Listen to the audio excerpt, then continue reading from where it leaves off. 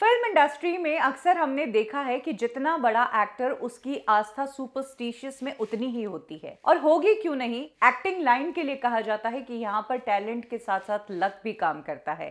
बड़े बड़े सुपरस्टार्स की लाइफ में ऐसा हो चुका है। अमिताभ बच्चन के साथ ऐसा हो चुका है। हम सब जानते हैं कि अमिताभ बच्चन ने एक टाइम पर बेहद बुरा वक्त देखा था। मुंबई में सब कुछ बिकने को आ गया था।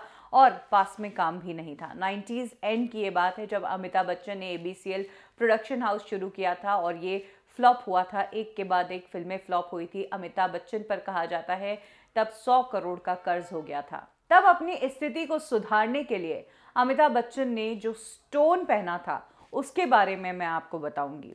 इस बुरे वक्त में अमिताभ बच्चन अपने एस्ट्रोलॉजर से मिले। जिस दौरान उनके एस्ट्रोलॉजर ने उन्हें एक नगीना पहनने के लिए कहा। और अमिताभ बच्चन ने अपने एस्ट्रोलॉजर के कहने पर इस नगीने को पहना और वहीं से उनका वक्त बदलना शुरू हुआ। जो रफ्तार उनकी ज़िंदगी ने पकड़ी, वो आज भी जारी है। अमिताभ को उनके एस्ट्रोलॉजर ने नीलम पहनने के लिए कहा था। जब A B C L flop हुआ, जब अमिताभ के हाथ से सब कुछ जा रहा था, तभी उन्होंने हाथों में नीलम की अंगूठी पहनी। वहाँ से अमिताभ बच्चन की लाइफ में चेंजेस आना शुरू हो गए।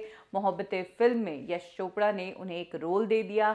उन्होंने के साइन कर लिया और उसके बाद से अमिताभ ने फिर से अपने करियर की शुरुआत कर दी और कभी मुड़कर उस दौर की तरफ़ नहीं देखा। जहाँ तक बात है कर्ज की तो एक बार फिर से अमिताभ ने इतना पैसा कमाया कि उन्होंने वो सारा कर्ज उतार दिया और तब से लेकर आज तक अमिताभ बच्चन ने काम करना नहीं छोड़ा है।